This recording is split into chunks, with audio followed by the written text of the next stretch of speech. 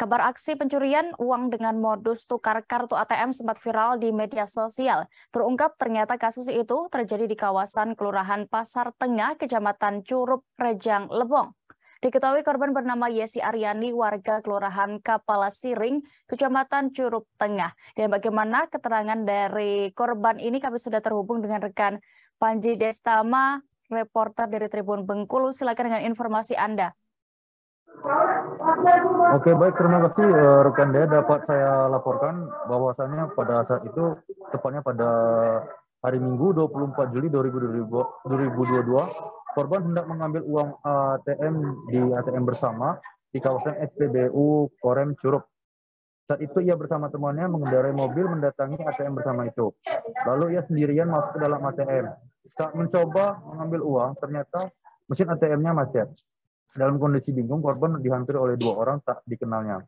Dua orang ini menawarkan bantuan kepada korban.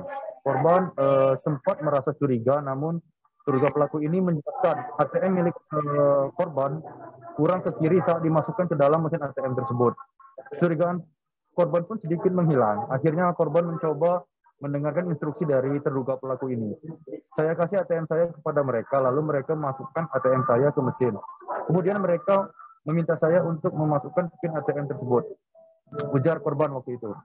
Ternyata ATM milik korban sudah ditukar oleh pelaku dan korban memberi ATM-nya, ATM yang mau dimasukkan ke dalam uh, mesin ternyata ATM milik pelaku. Namun ATM ini tertelan seakan-akan ATM uh, yang tertelan merupakan ATM korban. Lalu terduga pelaku meminta korban masukkan PIN ATM-nya hingga berkali-kali. Kemudian korban panik menelpon adiknya menanyakan bagaimana melapor ATM yang tertelan. Saat itu terduga pelaku juga telah melarikan diri dari perbincangan korban dan adiknya. Korban mengaku jika ia dibantu oleh dua orang tak dikenal. Sontak sang adik e, mengatakan jika yang membantu adalah perampokan. Beberapa saat kemudian korban dijemput oleh adiknya untuk mencari pelaku. Terduga pelaku akhirnya ditemukan di ATM di kawasan Pasar Tengah, Kecamatan Curup, Lalu korban dan adiknya masuk ke dalam ATM, kemudian menegur keduanya. Korban juga memastikan jika kedua orang ini tadi yang berpura-pura membantunya. Langsung diamankan oleh uh, korban dan satpam di ATM itu. Terduga pelaku sudah menarik uang uh, sebesar 2 juta rupiah dan juga mentransfer uang ke rekening lain dengan ATM-nya. Ucap korban. Akhirnya terduga pelaku diserahkan ke, ke, pihak Polres Rejang Lebong untuk ditindaklanjuti. Sementara itu polisi juga telah mengamankan ketiga orang pelaku ini. Ketiganya yakni uh, RA 53 tahun, ED 48 tahun, warga Bandar Lampung, dan AR 31 tahun, warga Serang Banten. Ketiganya uh, beraksi tak hanya di Rejang Lebong, Kepahyang maupun Kota Bengkulu. Namun pelaku juga beraksi di Provinsi Jambi dan Provinsi Sumatera Selatan. Tiga pelaku ini sudah ditetapkan sebagai tersangka dalam kasus ini dan disangkakan pasal 46 ayat 1 ayat 2 junto pasal 30 ayat 1 ayat 2 Undang-Undang ITE serta pasal 363 ayat 1 ke 4E UHAP pidana dengan ancaman kurungan penjara 7 tahun dan denda sebesar 700 juta rupiah. Demikian rekan dia dari Bungkulu melaporkan.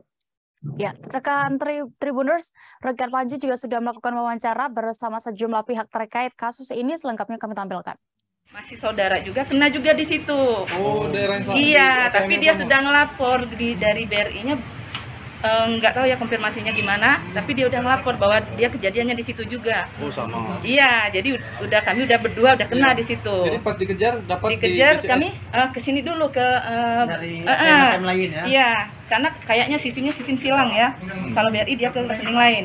Jadi kami langsung lah yang adik ke sini, kami ke BCA langsung. Pakai mobil apa kemarin dia tuh? Uh, Avanza hitam. Oh, Ya. Nyampe di itu, nyampe di BCA. Kami turun, begitu lihat memang ada orang dua di situ kan kelihatan kakinya tuh. Hmm, hmm. Dibuka sama adik yang satu pintunya. Maaf ya Pak, katanya mau tanya. Langsung dipinggirin bapaknya tuh. Yang satu dipegang sama adik yang satu, yang satu yang satu lagi. Hmm. Coba coba lihat bener nggak ini, bener nggak orangnya? Iya, pakai pakai topi, tapi yang satunya tadi pakai kacamata, udah dilepas kacamatanya. Terus ditanya sama adek kan, kamu apain kakak saya, kamu apain katanya kayak gitu. Hmm. Enggak, saya cuma bantu, dah langsung. Ini rampok pak, rampok, rampok kata adek. Udah begitu. Iya, sapanya memang udah keluar kan, oh. cuma masih bingung kayak gitu. Duit kita sempat ditarik sama orang itu? Uh, uh, kemarin uh, dapatnya udah 2 juta duit cash. Mm -hmm. ATM begitu ATM kan bunyi tuh. Mm -hmm. Titit-titit begitu dikeluarin itu ATM BRI saya. Oh, di, berapa? Udah di, di Ini tugasnya sebagai uh, berpura-pura sebagai uh, nasabah yang mau melakukan transaksi di ATM. Jadi saat pelaku satu uh, masuk itu mengganjal dulu lubang kartu di mesin ATM dengan tusuk gigi ya. Ini tusuk gigi yang sudah diberi tanda hitam. Ya, lalu yang paling ujung hitam ini dimasukkan lalu dipatahkan. Jadi yang di dalam itu tertinggal hanya uh, ujung tusuk gigi yang warna hitam. Dimasukkan lalu ditekan lagi dengan gergaji ini supaya lebih masuk lagi ke dalam untuk mengganjal lubang itu. Lalu pelaku pertama keluar lagi sambil menunggu korban. Uh, lalu korban masuk. Pelaku kedua masuk lagi dengan uh, bermodus ingin membantu si korban ini yang kesulitan memasukkan kartu ATM. Lalu saat kesulitan itu uh, pelaku dua ini menawarkan sini coba saya bantu. Saat kartu ATM diserahkan ke pelaku, di saat itulah pelaku menukarkan kartu yang sudah dia siapkan. Kartu milik pelaku yang sudah disiapkan ditukar dengan milik si korban ini. Lalu uh, si korban mencoba lagi, tidak bisa. Lalu masuk lagi pelaku uh, yang pertama tadi lagi masuk. Terima kasih sudah nonton. Jangan lupa like, subscribe, dan share ya.